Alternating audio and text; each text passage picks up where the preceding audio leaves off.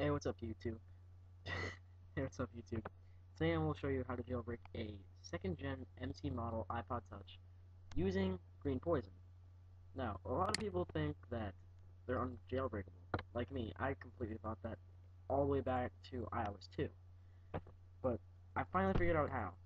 And I pretty much started a whole jailbreaking thing for my school, um, and all my friends, and even some people will send them to me now. And this is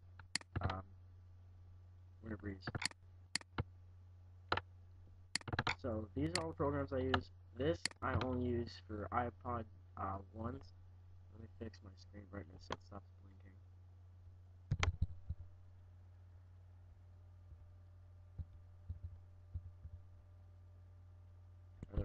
Okay, so.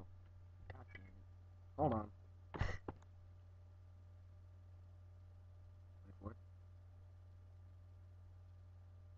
Of course not gonna do. There we go.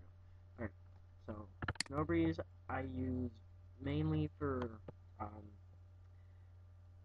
third generation iOS, for third iPhone 3S. That's the best one to use for me.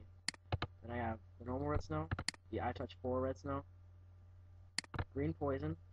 Now let me get the new Green Poison here. This is the current one, RC6. And this one works the best. So let replace.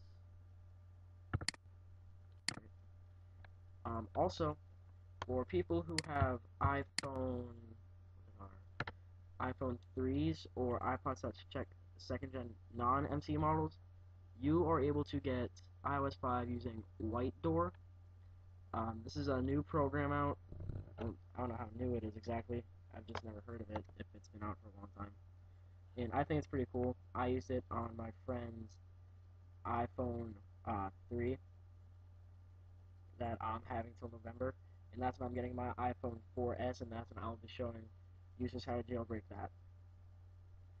So, that's pretty much the basic stepping it.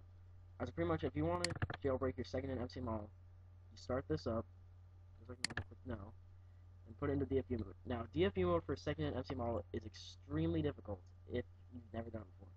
What you have to do is when you hold the power button, you have to softly hit the home button. You can't push it down the way or it keeps clicking it inside.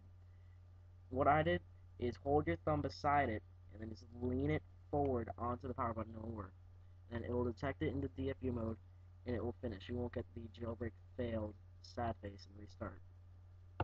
So that's the simplest way to do that. And that's all for now. If anybody needs help jailbreaking any type of model, I will give you feedback. So thank you for watching. See you.